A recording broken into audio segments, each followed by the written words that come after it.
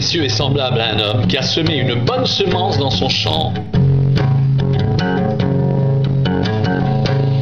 Mais pendant que les gens dormaient, son ennemi vint, sema de l'ivraie parmi le blé s'en alla.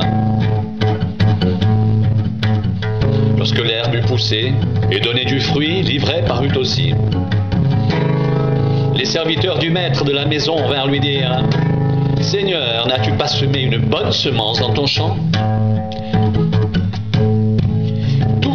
L'ivraie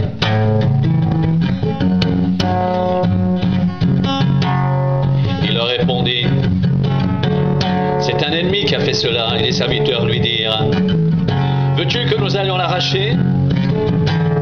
Non, dit-il, de peur qu'en arrachant l'ivraie, vous ne déraciniez en même temps le blé. Croître ensemble l'un et l'autre jusqu'à la moisson, et à l'époque de la moisson, je dirai au moissonneur, arrachez d'abord l'ivraie, et liez-la en gerbe pour la brûler, mais amassez le blé dans mon grenier.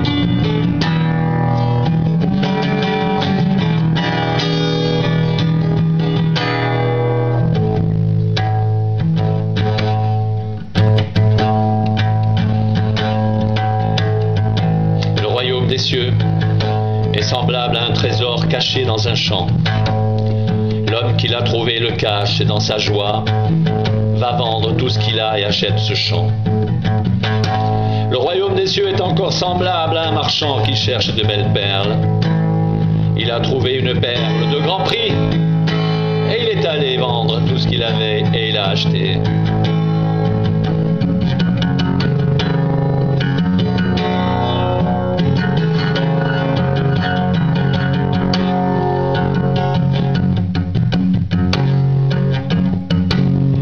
Sème la bonne semence, c'est le Fils de l'homme.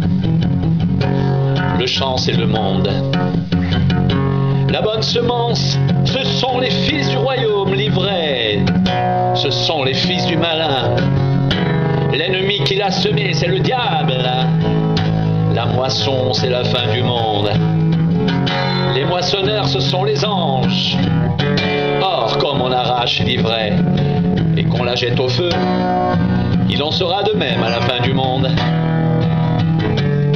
Le Fils de l'homme enverra ses anges qui arracheront de son royaume tous les scandales et ceux qui commettent l'iniquité.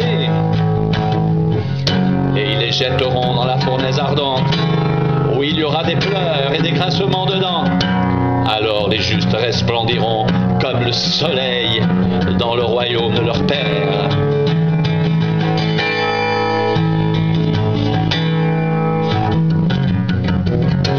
Les justes resplendiront comme le soleil dans le royaume de leur Père. Que celui qui a des oreilles pour entendre, entende.